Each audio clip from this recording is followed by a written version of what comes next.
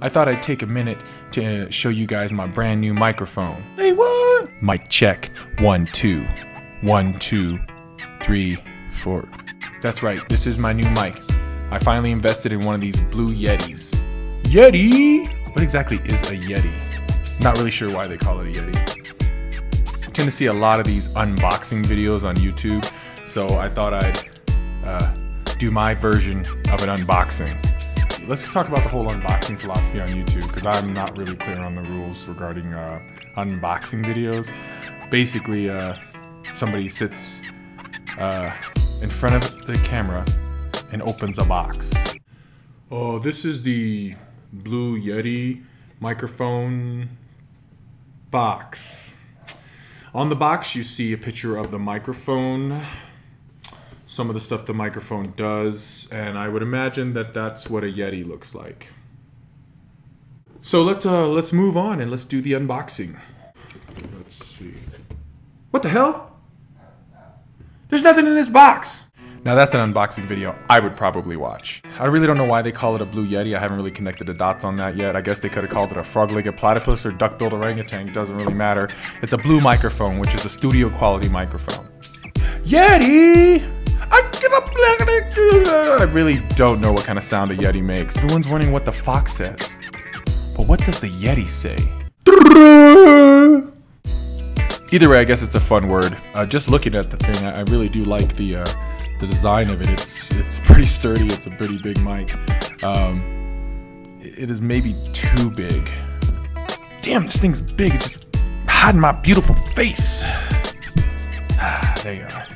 It almost looks like one of those microphones from one of those uh, R&B videos from the 90s. So anxious. Meet me at 11:30. I love it when you're talking dirty cuz I'm so What are you doing? Nothing. Go to your room. I mean, can't I have some me time? Well, I didn't say anything. Yeah, yeah, I'll do the dishes in a minute. Aside from the microphone looking really cool, um, it does have some pretty cool features. I'm not gonna go all technical on you guys and go over all the like electronic features and everything because you can just read that on the website or on the box. Uh, this is an unboxing of the Yeti, and here's some of the features. So the biggest uh, selling point of the uh, this Blue Yeti USB microphone is uh, the four uh, uh, stereo set or the four settings that microphone settings that you have. You have a stereo uh, cardioid, um, omnidirectional, and bidirectional. Uh, basically, I'm using the cardioid. Uh, I hope I'm saying that right. well, you are speaking cardioid. Um, it's the one. It's this is the one directional for uh, podcasting or voiceovers. Stereo is obviously used for um, music, instruments, stuff like that. Omnidirectional is uh, labeled for conference calls. I don't know uh, how people would react if I showed up to work uh, to do a conference call with this microphone. Yes, has everyone joined the call? Great, great. So uh, we're here to discuss my microphone. And there's bidirectional, which would be um, um, an interview, so the microphone would pick up uh, two people speaking on either side of the mic. Uh, in the end, I think it's a great microphone. It looks good. It sounds good. Uh, it's a little heavy. Some people complain about that, but I, I love that it's it's big and heavy and sturdy.